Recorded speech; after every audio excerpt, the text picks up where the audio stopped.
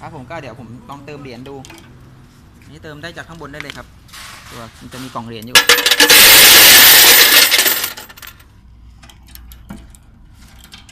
สังเกตสถานะจะเปลี่ยนไปเป็นไฟสีลุ้งกระพริบแทน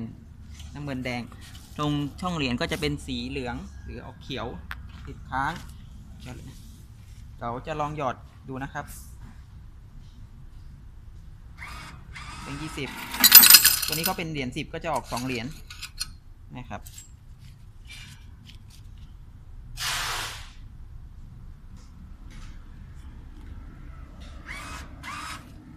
นี่แบงค์มันค่อนข้างเก่า ครับผมก็แบงค์ร้อยต่อ